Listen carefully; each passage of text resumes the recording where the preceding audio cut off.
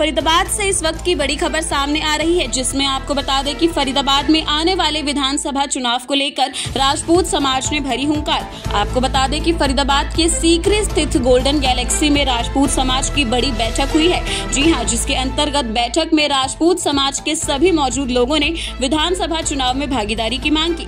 राजपूत समाज का मानना है की आने वाले विधानसभा चुनाव में सरकार को राजपूतों को देनी चाहिए उचित भागीदारी। इसी के साथ पृथला विधानसभा से विनोद भाटी को भाजपा टिकट मिलने के बाद चुनाव में जीतने के लिए राजपूत समाज करेगा प्रचार। आपको बता दें इस वक्त की फरीदाबाद से सबसे बड़ी खबर जो निकल कर सामने आ रही है।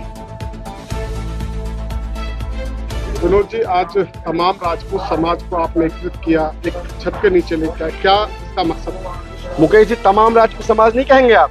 राजपूत समाज की सरदारी को इकट्ठा किया, क्रीम को इकट्ठा किया, जो हमारे मौजूद लोग हैं, उनको मैंने इकट्ठा किया क्योंकि एक एक आदमी के पीछे हज़ार हज़ार लोग हैं। आज मौजूद सरदारी आई, सब सबने मुझे प्यार दिया, सभी का बहुत बहुत धन्यवाद। आज का विजन क्या रहा? किस उद्देश्य से आपने तमाम